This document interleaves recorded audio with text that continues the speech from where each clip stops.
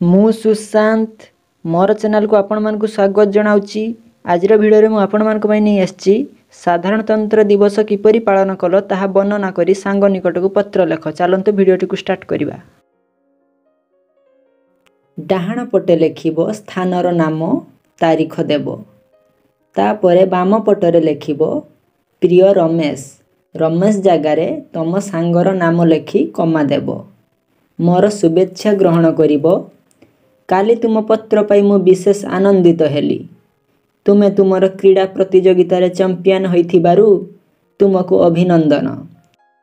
ଆମ ବିଦ୍ୟାଳୟରେ ପାଳିତ ହେଉଥିବା ସାଧାରଣତନ୍ତ୍ର ଦିବସ ବିଷୟରେ ଜାଣିବାକୁ ଇଚ୍ଛା କରୁଥିବାରୁ ମୁଁ ସେ ବିଷୟରେ କିଛି ଲେଖୁଛି। ତୁମେ ତ ଜାଣିଥ ସାଧାରଣତନ୍ତ୍ର ଦିବସ ପାଳନର ମୁଖ୍ୟ ଉଦ୍ଦେଶ୍ୟ ହେଉଛି ସମ୍ବିଧାନକୁ ସୁରକ୍ଷା ଦେବା। ତେଣୁ ଏହି ଦିବସଟି ଏକ ଜାତୀୟ ଉତ୍ସବ ଭାବେ ବିଖ୍ୟାତ ଦିଲ୍ଲୀଠାରୁ ଅଖ୍ୟାତ ପଲ୍ଲୀ ପର୍ଯ୍ୟନ୍ତ ସବୁଆଡ଼େ ପାଳିତ ହୋଇଥାଏ। ଏହା ଏ ବର୍ଷ ସେହି ପାରମ୍ପାରିକ ଧାରାରେ ଆମ ବିଦ୍ୟାଳୟରେ ପାଳିତ ହୋଇଥିଲା। ଏହି ଦିବସ ଉପଲକ୍ଷେ ଆମ ବିଦ୍ୟାଳୟକୁ ରଙ୍ଗୀନ ପତାକାରେ ଆମ୍ଭେମାନେ ସଜାଇଥିଲୁ। ପ୍ରତ୍ୟୁଷରୁ ସବୁ ଛାତ୍ରଛାତ୍ରୀ ଓ ଗୁରୁଜନମାନେ ଏକତ୍ରିତ ହୋଇଥିଲୁ।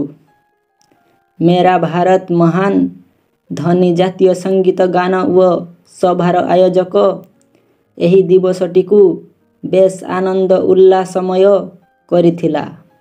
ଏହି ଅବସରରେ ଆୟୋଜିତ ଏକ ସଭା ପରେ ଆମେ ମିଷ୍ଟାନ୍ନ ଖାଇ ଆନନ୍ଦ ମନରେ ଘରକୁ ଫେରିଥିଲୁ।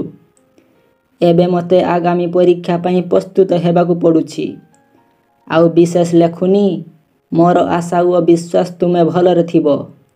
ଚିଠି ପାଇ ନିଶ୍ଚୟ ଚିଠି ଦେବ।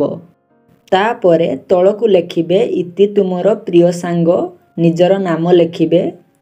ଠିକଣା ଲେଖିଲା ବେଳେ ବାମ ପଟରେ ଲେଖିବେ ପ୍ରେରକ ଡାହାଣ ପଟରେ ଲେଖିବେ ଗ୍ରାହକ। ପ୍ରେରକର ଅର୍ଥ ହେଉଛି ଯିଏ ପଠାଉଛି ସିଏ ହେଉଛନ୍ତି ପ୍ରେରକ। ଗ୍ରାହକର ଅର୍ଥ ହେଉଛି ଯିଏ ଗ୍ରହଣ କରୁଛନ୍ତି ସିଏ ହେଉଛନ୍ତି ଗ୍ରାହକ। ପ୍ରେରକରେ ଲେଖିବେ ନିଜର ନାମ ଲେଖିବେ ଗ୍ରାମ ଲେଖିବେ ପୋଷ୍ଟ ଅଫିସ୍ ଲେଖିବେ ଜିଲ୍ଲା ଲେଖିବେ ପିନ୍ ନମ୍ବର ଲେଖିବେ ଗ୍ରାହକରେ ଲେଖିବେ ସାଙ୍ଗର ନାମ ଲେଖିବେ ଗ୍ରାମ ଲେଖିବେ ପୋଷ୍ଟ ଅଫିସ୍ ଲେଖିବେ ଜିଲ୍ଲା ଲେଖିବେ ପିନ୍ ନମ୍ବର ଲେଖିବେ ଏହିଭଳି ଭାବେ ପତ୍ର ଲିଖନଟିକୁ ଲେଖି ଶେଷ କରିବେ